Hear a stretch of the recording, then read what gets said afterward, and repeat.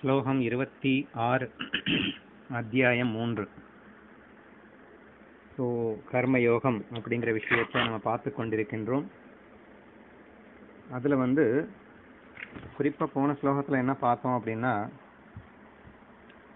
போன போன ஸ்லோகம்னு இல்லை போன கடந்த ஒரு நான்கைந்து ஸ்லோகங்களாகவே திரும்ப திரும்ப வலியுறுத்தி சொல்லப்பட்ட ஒரு விஷயம் என்னன்னா ஞானி ஆகிவிட்ட பிறகும் கூட கர்மயோ கர்மயோகம் செய்ய வேண்டும் அப்படின்னு சொல்லிட்டு டிஃப்ரெண்ட் டிஃப்ரெண்ட்டாக வலியுறுத்தி சொன்னி சொல்லி கொடுத்தார். தன்னையே தன்னையே உதாரணம் காட்டியும் சொல்லி கொடுத்தார் இல்லையா? இப்போ இந்த ஸ்லோகம் கொஞ்சம் டிஃப்ரெண்ட்டாக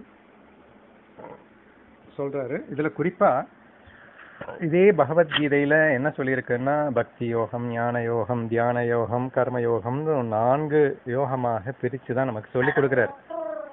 இதை சொல்லி கொடுத்தா கூட இந்த வெரி பிகினிங்கில் ரெண்டாவது மூன்றாவது அத்தியாயங்களில் நமக்கு என்ன சொல்லி கொடுக்குறாரு அப்படின்னா கர்மயோகத்தை தான் சொல்லி கொடுக்குறாரு.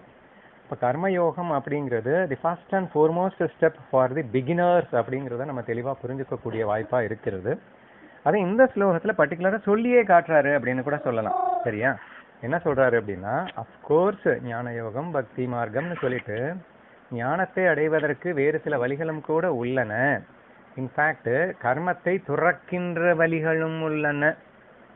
சரியா? இங்க கர்மயோகத்துல மீண்டும் மீண்டும் வலியுறுத்தி சொல்லப்படுவது என்ன? கர்மத்தை செய்து கொண்டே முக்தியை அடைவது எப்படி? கர்மத்தை துறக்கவே கூடாது. ஸோ இதுதான் வந்து மீண்டும் மீண்டும் சொல்லப்பட்டு கொண்டிருக்கின்றது. இப்போ இந்த ஸ்லோகத்துல என்ன சொல்றாரு அப்படின்னா importance of karma yoga more particularly for beginners so மற்ற மார்க்கங்கள் இருக்கு இல்லைன்னு நான் சொல்லலை பட் பிகினர்ஸுக்கு கண்டிப்பாக இது தேவை. அப்போ ஆட்டோமேட்டிக்லி அந்த கர்மயோகத்தினுடைய இம்பார்ட்டன்ஸ் இப்போ மற்ற இது வரைக்கும் பேசிட்டு இருக்கும்போது உங்களுக்கு என்ன தோணும் அப்படின்னா அதுக்காக அப்போ பக்தி ஞான மார்க்கம் சன்னியாச மார்க்கம்னு இருக்கே அதெல்லாம் தப்பா? இவர் என்ன கர்மத்தை செஞ்சே ஆகணும்னு சொல்லிக்கிட்டே இருக்காரு. அப்போ அந்த மார்க்கம் மார்க்கம் எல்லாம் பொய்யா? அப்படின்னு எல்லாம் வந்து ஒரு டவுட் வரக்கூடும் இல்லையா? அந்த டவுட்டை கிளாரிஃபை பண்றதுக்காகவே இந்த ஸ்லோகம் அமைவதாக நான் காண்கிறேன். சரியா? ஆமா இருக்குதான். எல்லா மார்க்கமும் இருக்குதான். இல்லைன்னு சொல்லலை. பட்டு பிகினர்ஸுக்கு கண்டிப்பா மற்ற மார்க்கங்கள் ஷூட் ஆகாது. ஸோ மனசுல எக்கச்சக்கமா லைக்ஸ் அண்ட் டிஸ்லைக்ஸ் இருக்கும்போது அவங்க என்ன ஃபாலோ பண்ணி அதுக்கப்புறம் ஸ்டெப் பை ஸ்டெப்பாக அடுத்தடுத்த நிலைக்கு போக முடியும் அப்படிங்கிறத சொல்ல வர்றதுனால this is not suitable I mean the other Marcus அதாவது மற்ற மார்க்கங்கள் பிகினர்ஸ்க்கு சூட்டபிள் இல்லை. கர்மயோகம்தான் ஆரம்ப நிலையில் உள்ள ஆன்மீக ஆர்வலர்களுக்கு முக்கியம் என்பதை வலியுறுத்தும் ஸ்லோகம் இது. படிக்கிறேன் கேளுங்க. ஒரு குழந்தை தாய்ப்பாலை சாப்பிட்டு ஜரித்துக் கொள்வதற்கே சக்தியற்று கஷ்டப்பட்டு கொண்டிருக்க அதற்கு கடித்து தின்ன வேண்டியதான கடினமான உண்டிகளை உண்ண கொடுக்க தகாதது போலே. என்ன எக்ஸாம்பிள் பாருங்கள் கர்மமே சரியாக அனுஷ்டிக்க தெரியாதவர்கள் முன்னாடி வேடிக்கையாக கூட கர்மத்தை முற்றிலும் தொடர்ந்த மார்க்கங்களை அனுஷ்டித்து காட்டக்கூடாது. ஏன்னா ஞானிகளுக்கே அட்வைஸ் பண்ணுற மாதிரி தான் நான் நாலஞ்சு ஸ்லோகங்கள் அமைந்தன. அதில் கர்மயோகத்தினுடைய இம்பார்ட்டன்ஸை வலியுறுத்தி உங்களுக்கு வந்து எந்த கண்டிஷனும் இல்லைன்னா கூட பட் மற்றவங்க கன்ஃபியூஸ் ஆகாமல் இருக்கிறதுக்கு நீங்கள் வந்து கர்மயோகம் பண்ணுங்க அப்படின்னு எல்லாம் சொல்லி கொடுத்தாரு இல்லையா? இப்போ இந்த இடத்துல அது ஏன் அப்படிங்கிறதையும் சொல்றாரு. தாய்ப்பாலை ஏன்னா இருக்கிறதுலையே ஒரு குழந்தைக்கு வந்து ஈஸிலி டைஜஸ்டட் ஃபுட் எதுன்னா தன்னுடைய தாய்ப்பால் தான். பிறந்த குழந்தை எடுத்தவொடனே தன் தாய்ப்பாலை குடித்து கொண்டு ஆரோக்கியமாக வாழ முடிகிறது. அப்படின்னா என்னென்ன அந்த குழந்தைக்கு இது very very easiest food to டைஜஸ்ட்னா என்னன்னு கேட்டிங்கன்னா அது தாய்ப்பால் தான். இது வெரி ஃபஸ்ட் அண்ட் ஃபார்மோஸ்ட்னு சொல்லிடலாம். ஒருவேளை அந்த குழந்தைக்கு அந்த தாய்ப்பாலே ஜரிக்கலை அப்படின்னா என்ன அர்த்தம்? Is body is very very very வீக்னு அர்த்தம். சரியா? அந்த மாதிரி இருக்கும்போது நீ அதுக்கு போயிட்டு நல்ல ஹார்டான நல்ல சத்தான பொருட்களை கொடுங்க. அப்பதான் நல்லது அப்படின்னு சொல்லிட்டு ஏதாவது கொடுத்தா என்ன ஆகும்? தாய்ப்பாலே டைஜஸ்ட் பண்ண முடியலையே பின்ன ஹார்டு சப்ஸ்டன்ஸை கொடுத்தா எப்படி டைஜஸ்ட் பண்ணும்? முடியாது இல்லையா? அப் அந்த மாதிரி கொடுக்க தகாதது போல. குவைட் நேச்சுரலி நம்ம கொடுக்க மாட்டோம் இல்லையா? அந்த மாதிரி ஒரு யோக சாதனை ஏதாவது ஆன்மீகத்தில் முன்னேறணும்னு ஒருத்தன் வர்றான் அப்படின்னு சொன்னால் முதல்ல நம்ம அவனுக்கு சுட்டி காட்ட வேண்டியது என்னன்னா கர்மயோகம் தான் அவனுக்கு தப்பித்தவரை கூட கர்மத்தை துறந்த மார்க்கங்கள் என்னென்ன? இந்த சந்நியாச மார்க்கம் ஈவன் ஞான மார்க்கம் எல்லாமே கர்மத்தை துறந்த மார்க்கங்கள். அங்கு கர்மம் செய்யணும்னு கட்டாயப்படுத்தவே கடுத்தாது. இந்த மார்க்கங்களில் வந்து நீ இந்த கடமைகளை செய்தாக வேண்டும் அப்படிங்கிற கண்டிஷன்ஸ்லாம் எதுவுமே கிடையாது. ஸ்ட்ரைட்டவே சுதர்மானுஷாந்த பற்றி கூட பேசாது அந்த மார்க்கங்கள். இங்கே வந்து அந்த மாதிரி மார்க்கங்கள் இருக்குது ஆனால் அதை வந்து இவங்களுக்கு காட்டக்கூடாது. ஏன்னா அது எல்லாமே கடினமான மார்க்கங்கள் அப்படின்னு சொல்லப்பட்டிருக்கு. புரிந்து கொள்வதற்கும் செயல்படுவதற்கும் மிக கடினமான மார்க்கங்களை கர்மம் செய்யறதையே இவனால் பண்ண முடியல. தாய்ப்பாலையும் இன்னும் ஜர்ணிக்க முடியலன்னு சொன்னார் இல்லையா? அந்த மாதிரி கர்மத்தையும் இவனால் ஒழுங்காக அனுஷ்டிக்க முடியலையாக்கும். நான் சொல்ற மாதிரி பலனை எதிர்பார்க்காம சுதர்மானுஷ்டானத்தோட கர்மத்தையே இவனால் அனுஷ்டிக்க முடியலையாக்கும். இவனுக்கு போயிட்டு என்ன நீ வந்து கர்மத்தை துறந்த மார்க்கலங்க காட்ட முடியும்? டோட்டலி அந்த மாதிரி பண்ணக்கூடாது. ஏன்னா ஏபிசிடி எழுத தெரியாதவன்ட்ட போயிட்டு எஸ்ஏ சொல்லித்தரேன் அப்படின்னு சொல்றது லூசுத்தனம். How could பாசிபிள் முதல்ல ஸ்டெப் பை ஸ்டெப்பாக தானே போகணும். அவனுக்கு முதல்ல ஏபிசிடி தான் கற்றுக் கொடுக்கணும். அதில் அவன் வந்து நல்லா ஸ்ட்ராங் ஆகிட்டான் அப்படின்னா நெக்ஸ்ட் ஸ்டெப்புக்கு நம்ம போகலாம்.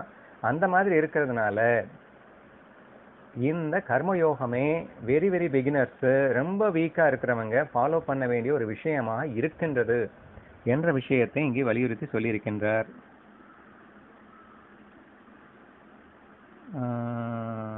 அடுத்து என்ன சொல்றாருன்னா ஒரு நிமிஷம் இருங்க. இந்த இந்த விஷயத்துக்கு நம்ம ஒரு ரெண்டு நாளைக்கு முன்னாடி நம்ம கிளாஸ்ல டிஸ்கஸ் பண்ணினோம். என்ன டிஸ்கஸ் பண்ணோம் அப்படின்னா கூட்டு குடும்பம் தனி குடும்பம் அப்படின்னு சொல்லிட்டு ஒரு டிஸ்கஷன் கொண்டு வந்தோம். அது கூட I think that that best எக்ஸாம்பிளாக நம்ம ஷூட் பண்ணலாம் அப்படின்னு நினைக்கிறேன் நான். ஆக்சுவலாக இன்ஃபேக்ட் பூபதினா பதில் சொல்லும்போது அழகா சொன்னாங்க. We can go in either way also அப்படின்னு சொல்லிட்டு கூட்டு குடும்பம் என்பது அனைவரும் சேர்ந்து வாழ்வது. பற்றுக்களை குறைவாக குறை குறைத்து கொண்டே வந்தால் நெக்ஸ்ட் ஸ்டெப் சிங்கிள் ஃபேமிலி அப்புறம் வந்து லிவிங் டுகெதர் அப்படின்னு சொல்லிட்டு பற்றுக்களை குறைத்து கொண்டே வந்து எவர் துணையும் இல்லாமல் தனித்துவமாக ஆனந்தமாக வாழக்கூடிய ஒரு அற்புத நிலை என்பது ஞான நிலை தானே இது எந்த மார்க்கத்தை குறிக்குது? சன்னியாச மார்க்கத்தை குறிக்குது. சரியா?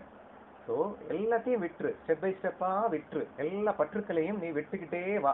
ஸோ மொத்த பற்றுக்களையும் நீ விட்டுட்ட. அங்கே வந்து எதுவுமே இல்லாமல் கூட உன்னால் சந்தோஷமாக இருக்க முடியும். அப்படிங்கிற ஸ்டேஜ் வரும்போது நீ ஞானி ஆயிட்ட அப்படின்னு புரிஞ்சுக்கலாம். இது வந்து ஒரு ரகம். இது எந்த மார்க்கத்தை குறிக்குதுன்னா சன்னியாச மார்க்கத்தை குறிக்குது. ஆனால் நான் பேசும்போது என்ன சொன்னேன் அப்படின்னா லிவிங் வித் ஸ்ட்ரேஞ்சர்ஸ் அப்படின்னு சொல்லிட்டு வாழக்கூடியவர்கள். அதாவது அவங்க மூக்கு முகரை எதுவுமே அந்த அட்ரஸ் தெரியாதவங்க கிட்ட ரெண்டு மூணு நாள் வாழலாம் அப்படின்னு நினைச்சு வாழ்ந்துட்டு இருக்கான் இல்லையா? They are consider to be the very very weak minded அவனுக்கு ஒரே ஒருத்தர் கூட ஒரு சரண்டர்ல ஒரு சிங்கிள் ஃபேமிலியா வாழ அவனால முடியல அட்லீஸ்ட் கல்யாணம் பண்ணிக்காம லிவிங் டுகெதராக கூட உனக்கு வாழ தகுதி இல்லை. Such a weak minded he is ஏதோ ரெண்டு நாள் ஆசையை பூர்த்தி பண்ணிட்டியா போயிட்டே இருப்போம். அந்த ஒரு ரேஞ்சுக்கு நீ இறங்கிட்டு இருக்க அப்படின்னு சொன்னா it indicates extremely weak mindedness so உன்னுடைய மைண்டை நீ பலப்படுத்தணும். ஸ்டெப் பை ஸ்டெப்பா நீ வந்து அடுத்தடுத்த நிலைக்கு போகணும். அட்லீஸ்ட் ஒருத்தர்கிட்ட உன்னுடைய முழு மனசையும் ஈகோ இல்லாம அவங்க கூட மிங்கிலாக ஆக முயற்சி பண்ணணும். ஒருத்தர்கிட்ட நீ மிங்கில் பண்ணி ஜெயிக்க நீ முயற்சி பண்ணின அப்படின்னு சொன்னா நெக்ஸ்ட் ஸ்டெப் ஜாயிண்ட் ஃபேமிலிக்குள்ள நீ போகலாம். அங்க வந்து we can establish with every one else அந்த எல்லோருடையும் அன்பிலே சிலைக்க பழகலாம். இப்ப கர்மயோகத்தை சொல்லி கொடுக்குறது. நான் அதை சொல்லும் போதே நான் சொன்னேன். கர்மயோகத்தை வலியுறுத்துவது ஜாயிண்ட் ஃபேமிலி அப்படின்னு. ஏன்னா அதுல இருக்க குடும்ப தலைவன் தான் கண்ணன். சோ நீ என்ன பண்றியோ பண்ணு. ஆனா ரிசல்ட் வந்து கரு- குடும்ப தலைவன்ட்ட கொடுத்துரு. குடும்ப தலைவன் பார்த்துப்பாரு உன்னை. சரியா? இது வந்து கர்ம யோகத்தை குறிக்குது அப்படின்னு சொல்லியிருந்தேன் நான். அப்போ அந்த கூட்டு குடும்பத்தை நாம் வந்து சுட்டி காட்டுகின்றோம். சோ நீ வந்து வீக் வீக் மைண்டடா இருக்கும்போது ஸ்டெப் பை ஸ்டெப்பா அடுத்தடுத்த படிக்கு வா. இன்ஃபேக்ட் கூட்டு குடும்பமே கர்மயோகம் தான் அப்படின்னு வருது. ஆனால் கவ- கர்மயோகம் தான் ஸ்டார்டிங்கில் கொடுக்கப்பட்டிருக்கு. நம்ம இன்னும் ரொம்ப லேகாக போயிட்டோம். நம்ம ரொம்ப கர்மயோகத்தை விட ரொம்ப கீழே போயிட்டோம். அடுத்தடுத்து அடுத்த மனசை பக்குவப்படுத்தி கூட்டு குடும்பத்துக்கு தயாரானா கர்மயோகம் அப்படிங்கறத நீ ஃபாலோ பண்றன்னு அர்த்தம். கூட்டு குடும்பத்துல ஜெயிக்கிறதுக்கு எவனுக்கு தகுதி இருக்கோ அவனுக்கு தான் சன்னியாச மார்க்கமே. வந்து ஷூட் ஆகும் ஞானம் ஒர்க் ஆகும் பக்தி ஒர்க் ஆகும். He doesn't have a love towards every one அதாவது அட்லீஸ்ட் அவனுடைய குடும்பத்தா மனுஷ கூட நல்லா யோசிச்சு பாருங்க. ஃபேமிலி மெம்பர்ஸோட கூட என்னால லவ் காட்ட முடியலன்னா இவன் எங்கெங்க இந்த உலகத்துல உள்ள எல்லாருக்கிட்டையும் லவ் காட்ட முடியும்? அப்போ உன்னுடைய பற்றுக்கள் என்பது தடையாக இருக்கின்றன அந்த லவ்வுக்கு இல்லைன்னு சொல்லல. பட் அட்லீஸ்ட் ஃபேமிலி மெம்பர்ஸ் கிட்ட ஜெயிக்க பழகலாமே. பட் அங்கேயே முடியல அப்படின்னு சொன்னா உன்னால எப்படி முடிய போகிறது?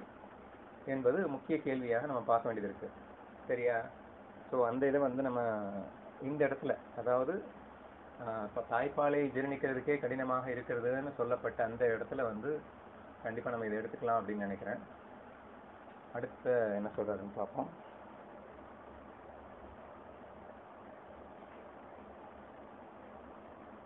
துறந்த மார்க்கங்களை அனுஷ்டித்து காட்டக்கூடாது. அவர்கள் முன்னால் அவர்களுக்கு ஏற்பட்ட ஸ்வதர்மங்களையே அனுஷ்டித்து காட்ட வேண்டும். அவற்றையே கொண்டாட வேண்டும். இப்படியெல்லாம் செய்து அவர்களை அவற்றிலேயே மூட்டி வைக்க வேண்டும். ஒருவன் ராஜா என்றும் ராணி என்றும் வேஷங்கள் தரித்து இதரர்கள் அவ்வேஷங்களை உண்மையான ராஜா ஃபர்ஸ்ட் அதை முன்ன அந்த வரியை விளக்கிடுறேன். அதாவது சுதர்மங்களை அனுஷ்டித்து காட்ட வேண்டும் அவற்றை அவற்றிலேயே கொண்டாட வேண்டும் அவற்றையே மூட்டி வைக்க வேண்டும்னா ஒருத்தன் வந்து கல்யாணம் பண்ணிக்கிட்டான் அல்லது பண்ணல ஏதோ ஒண்ணு இருக்கு வேலைக்கு போறான் அப்படின்னா அது எதுக்காக வேலைக்கு போறான்? பணம் சம்பாதிக்கிறதுக்காக. பணத்து மேல உள்ள ஆசையில வேலைக்கு போறான். அப்போ அந்த லைக்ஸ் அண்ட் டிஸ்லைக்ஸ் இருக்கிற வரைக்கும் அந்தந்த கர்மத்தை அவன் செஞ்சு தான் ஆகணும். அந்த சுதர்மானுஷ்டானத்தோட பண்ண சொல்றதுக்கு மட்டும் அவனுக்கு டிப்ஸ் கொடுத்துடலாம். அப்போ கண்டிப்பாக பண்ணு. நீ செஞ்சு தான் ஆகணும் அப்படின்னு சொல்லி ஃபஸ்ட்டு லவ்வோட அந்த கர்மாவை அவன் பண்ண ப்ராக்டிஸ் பண்ணிட்டான் அப்படின்னா தான் அடுத்து அந்த லவ்வோட அந்த கர்மாவை விடுறதுக்கும் வந்து அவனுக்கு எலிஜிபிலிட்டி உண்டு அப்படிங்கிறத அர்த்தமாக நான் புரிஞ்சுக்கிறேன். சரியா? ஒருத்தன் கல்யாணம் ஆயிடுச்சு. கல்யாணம் ஆயிடுச்சுன்னு ஒருத்தன் வர்றான் அப்படின்னா எனக்கு ஆன்மீகம் சொல்லி கொடுங்கன்னா இருக்கிற அந்த ஒன்னுட்டு முதல்ல லவ்வை டெவலப் பண்ண ட்ரை பண்றேன். பொண்டாட்டிக்கிட்ட லவ்வை டெவலப் பண்ணுறதை ட்ரை பண்ணு ஸோ இந்த ஹோல் வேர்ல்டை லவ் பண்ணுறது தான் ஞானம்னு சொல்லி கொடுக்குது. ஃபஸ்ட்டு நீ அதுல ஜெயிக்க முடியுமான்னு பாரு. நீ அதுல ஜெயிச்சிட்ட அப்படின்னா okay you run the game ஒன்றில் ஜெயிச்சிட்ட அப்படின்னா அடுத்து நீ அடுத்த ஸ்டெப்புக்கு போகலாம்.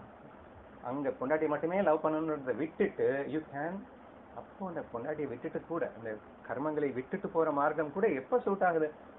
தகுதின்னு ஒண்ணு வேணுமா இல்லையா? சோ அங்கேயே நான் தோத்துட்டு இருக்கேன். ஒருத்தர்கிட்ட கூட என்னால லவ்ல ஜெயிக்க முடியல. அப்படின்னா நீ எல்லார்கிட்டயும் எங்கேருந்து லவ் காட்ட முடியும்? அப்போ அதை திறந்துட்டு போறதுக்கு ஒரு ரீசன் வேணுமா இல்லையா? அப்ப ரீசனே இல்ல. When you don't have an ability to digest the mother's milk தாய்ப்பாலே ஒன்றும் ஜரிக்க முடியல இல்ல. பின்ன எங்க இருந்து நீ வந்து கடினமான மார்க்கங்களில் நீ ஜரிக்க போற? Therefore first try to love every one doing karma கர்மத்தை செய்து கர்மத்தை நேசித்து நீ முதலில் கர்ம யோகத்தை ஸ்வதர்மானுஷ்டானத்தை ஃபாலோ செய்வது அப்படிங்கிறது எவ்வளவு முக்கியத்துவமாக இருக்கிறது என்பதை இங்கே குறிப்பிடுகின்றார் அப்படின்னு எடுத்துக்கலாம். சரி அடுத்து என்ன சொல்றாருன்னா இப்படியெல்லாம் செய்தவர்களை அவற்றிலேயே மூட்டி வைக்க வேண்டும். ஒருவன் ராஜா என்றும் ராணி என்றும் வேஷங்கள் தரித்து இதரர்கள வேஷங்களை உண்மையான ராஜா என்றும் ராணி என்றும் எண்ணும்படியாகவே நடித்தாலும் கூட அவன் மனதிலே தான் ராஜாவாகி விட்டதாகவும் ராணியாகி விட்டதாகவும் தோன்றாதது போலே ஒரு ஞானியானவன் உலகத்தாரை வழிபடுத்தி கருதி கர்மத்தை அனுஷ்டித்தால் அவனுக்கு கர்ப்ப கர்மபந்தம் ஏற்பட போவதில்லை. ஸோ எத்தனை ஸ்லோகங்கள் கிட்டத்தட்ட ஞானிக்கே உபதேசம் பண்ற மாதிரி சொல்லியிருக்காரு. அப்ப கர்ம யோகத்துக்கு எவ்வளவு இம்பார்ட்டன்ஸ் கொடுத்துருக்காருன்றதை நம்ம புரிஞ்சுக்கணும் இல்லையா? சோ இங்க எக்ஸாம்பிள் ஃபைனலா சொன்னது என்ன அப்படின்னு சொன்னா ஒருத்தன் ராஜா மாதிரி ராணி மாதிரி வேஷம் போட்டு மேடையில நடிச்சுக்கிட்டு இருக்கான் அப்படின்னு வச்சுக்கோங்களேன். சம்டைம்ஸ் வந்து பாக்குறவங்க நிஜமாவே இவன் ராஜா அப்படின்னு தோணும்படியாக அவ்வளவு கணக்கச்சிதமா நடிச்சா கூட நடிச்சிட்டு இருக்கிறவனுக்கு மறந்துடவா போகும் நம்ம வந்து நடிச்சிட்டு இருக்கோன்றது நம்ம ராஜா இல்லைங்கிறத நம்ம மறந்துடவா போறான் அந்த மாதிரி இந்த இடத்துல நம்ம என்னதான் கர்மம் ஞானிகள் பண்ணினாலும் கூட அது அவர்களின் எந்த தேவைக்கும் பண்ணல இல்லையா உலகத்தார் நன்மை கருதி தான் அவங்க பண்ணிட்டு இருக்காங்க அவங்களுக்கு எந்த ஆசையும் இல்லை. அதனால அவர்களுக்கு ஏன் கர்ம பந்தம் வரப்போகுது? ஸோ அதனால கண்டிப்பா கர்மபந்தனம் வரணும் வந்துரும் அப்படிங்கிற எண்ணமும் இல்லாம ஞானிகளுக்கே கர்மயோகம் செய்யப்பட வேண்டும்னு சொல்லி இத்தனை ஸ்லோகங்கள்ல மீண்டும் மீண்டும் வலியுறுத்தி சொல்லி இருக்கின்றார் எனும்போது நாமெல்லாம் எந்த அளவிற்கு ஸ்ரத்தையோடு கர்மயோகம் செய்ய வேண்டும் என்பதை புரிந்து கொள்ள முயற்சி செய்வோம்.